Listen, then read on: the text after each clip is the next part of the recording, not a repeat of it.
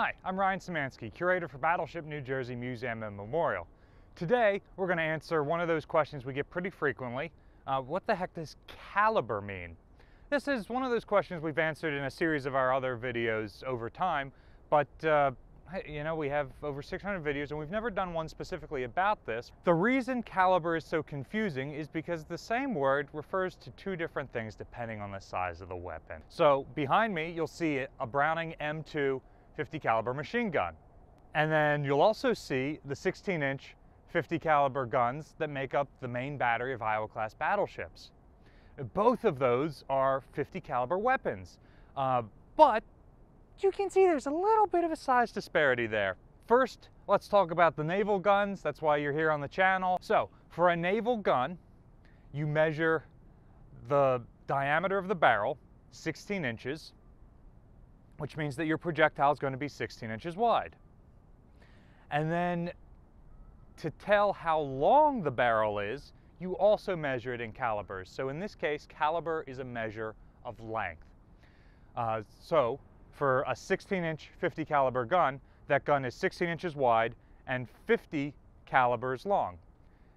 And a caliber here is a multiplication of the diameter of the barrel. So 16 times 50 gives you the length of that gun, or roughly 68 feet. A higher caliber weapon tends to have higher range and velocity, while a lower caliber weapon, when we're talking about these big naval guns, uh, tends to have a shorter range and uh, lower velocity. So lower caliber weapons are much better for anti-aircraft guns where you're trying to arc shots up and, and get really high stuff. Uh, so the U.S. Navy's famous pre-war 5-inch 25 caliber gun or the 5-inch 38 caliber gun, which are both uh, relatively low caliber. But then when you want a long-range piece of artillery, like our 16-inch 50s, you get up to a really high caliber. Simple so far? 16-inch guns aren't the only battleship guns that come in 50 calibers. So uh, the U.S. Navy also had a 14-inch 50 caliber gun. Uh, they were developing an 18-inch 48 caliber gun. So th there are a ton of different sizes. There's a 16 inch 45 caliber gun that armed a number of older American battleships. So for example, the North Carolina and South Dakota classes, uh, and even the preceding Colorado class, had 16 inch 45 caliber guns. So those guns didn't quite have the same range as the Iowa class battleships.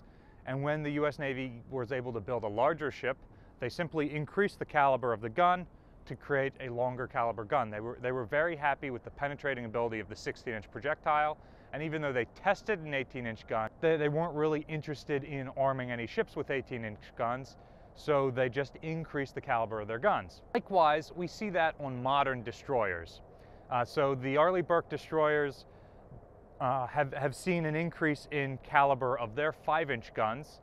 So Older destroyers go from the 5 inch 38 up to the 5 inch 54, and then Arleigh Burke destroyers have had uh, have gone all the way up to a 5 inch 62 caliber gun. So they just keep making that barrel longer so they can provide the naval gunfire support that uh, the Navy is devoid of without Iowa class battleships.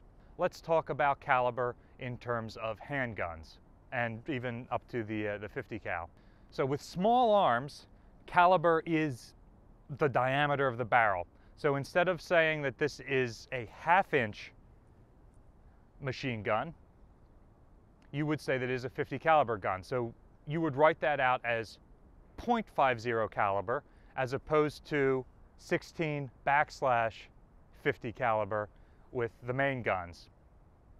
So that means that this Browning machine gun has a barrel diameter of 50 calibers. The length doesn't matter. And they do come in different lengths. There, there are 50 cals that are made for aircraft wings that have shorter lengths, and then like this that has more of the longer length. Uh, that, that doesn't play a role in small arms. It's just telling you the diameter of the barrel. And most modern handguns are set up to tell you the diameter of the barrel. Uh, I own a couple of 1911 handguns.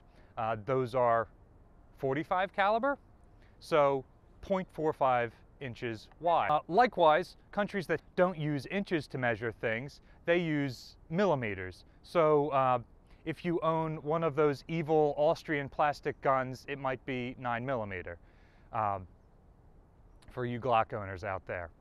I prefer my 1911 personally.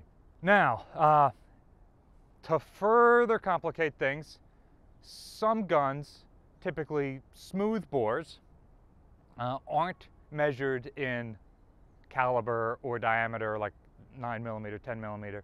Uh, they are measured in gauge. Gauge, uh, so we're, we're primarily talking about shotguns here. Gauge is the number of rounds it would take that are the diameter of that barrel. So how many round balls that are the diameter of that barrel does it take to equal one pound? Uh, so for example, a 12 gauge shotgun is uh, something like 0.72 inches in diameter. So it takes 12 balls of lead of that weight to equal one pound. And don't ask me why that is the case, but there it is. We have kids watching this channel.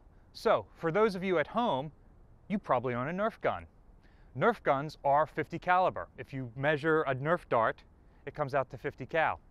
If you uh, get one of those larger Nerf darts, uh, what are they, jumbos or something like that, those are 75 caliber. So that, that's bigger than the machine gun behind me.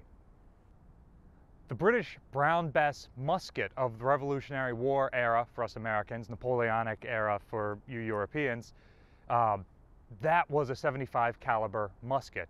So a three quarter inch lead ball, that's pretty destructive. Now, one more complication. Uh, sometimes, particularly with older artillery, you may see it measured in poundage instead of in diameter. There's a real simple conversion rate for that though. Uh, so for example, we've got 20 pounder Parrott rifles. That means they fire a 20 pound projectile. Uh, a lot of Civil War and earlier artillery or Crimean War if you're watching from the UK. Those sorts of artillery pieces are 12 pounders, 20 pounders, 30 pounders, whatever uh, the case may be, six pounders. Uh, and so if you go on board, say Constitution or Victory, uh, you get 24 pound long guns or 32 pound carronades, th things like that. Uh, when you get up to modern shell firing ships, the poundage becomes relatively standard. So a one pound gun is a 37 millimeter, a two pound gun is a 40 millimeter. So our Bofors 40 millimeter guns fire a two pound exploding projectile and then they've got the powder casing on the back. Six pounders are 57 millimeter and 12 pounders are 76 millimeter or three inches. What kind of guns have you shot? Let us know their caliber in the comments section down below. Battleship New Jersey receives operating support from the New Jersey Department of State and also from a number of other businesses and individuals like yourselves. We really appreciate your support and there's a link in the description if you would like to continue supporting us. You can also support us by liking, sharing, and subscribing so that more people hear about our channel. Thanks for watching.